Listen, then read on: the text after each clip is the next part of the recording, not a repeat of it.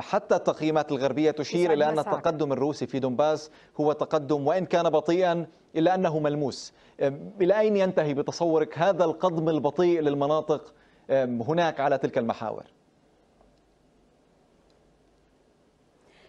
بالنسبة طبعا إلى الخطة الروسية يعني أنا حتى مسبقا كنت قد ذكرت بأن روسيا ليست مستعجلة. يعني روسيا تقوم بتطبيق الخطة العسكرية التي كانت قد وضعتها.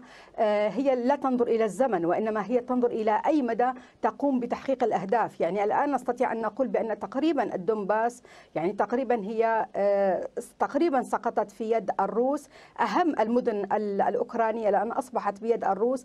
السيطرة على بحر آزوف تقريبا بالكامل أصبح بيد بيد الروس. يعني أستطيع أن أقول لك بأن المناطق التي أو الآن ما تقوم به روسيا من من تطويق القوات الأوكرانية من ثلاث جهات حساسة لا شك بأن هذا الطوق الذي تقوم به روسيا سيعمل على خنق أوكرانيا من جميع النواحي إن كانت من ناحية الإمدادات العسكرية إن كانت من ناحية التواصل مع العالم الخارجي إن كان من ناحية البحرية الجوية. اذا بالتالي الآن نستطيع أن نقول بأن روسيا بعض الشيء أو بالعكس يعني نقول بأن قطعت أشواط كبيرة في السيطرة على المحاور الأساسية التي تؤهلها بالتأكيد إلى ربما تحتاج إلى بضعة بضع من الوقت لتقوم بالسيطرة على المناطق التي تريد السيطرة عليها. وهذا ما جعل موسكو في البداية تتراجع عن عن مسألة التوجه إلى كييف. ورأينا في بداية عندما انطلقت العملية العسكرية بأن روسيا وصلت إلى عتبات كييف ثم تراجعت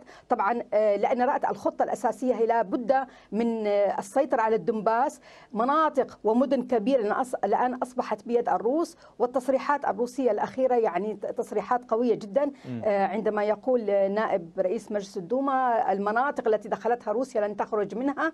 الآن المناطق التي قامت روسيا كما تذكر وزارة الدفاع بتحريرها يتواجد بها بالتأكيد جميع الموالين إلى الجانب الروسي. اليوم مدينة خيرسون وجميع من يسكنون فيها يطالبون بالعودة العودة إلى الأم. والمقصود هنا طبعا العودة إلى روسيا. وبالتالي هذا يعني بأن هناك أصبحت مدن كبرى بيد الروس. ليس هذا فقط.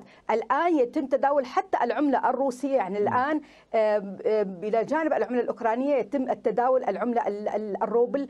وهذا ما يعطي انطباع كبير بأن الروس سيبقون في هذه الأماكن لن يخرجوا منها بالنسبة إلى روسيا. بالتأكيد يهمها المناطق اللي تصلها بالمدن الصناعية تسيطر الآن على المناطق الصناعية وهذا مهم جدا بالتأكيد يعني. والمناطق تسمى بالسلة الغذائية يعني أهم المناطق الآن هي بيد الروس.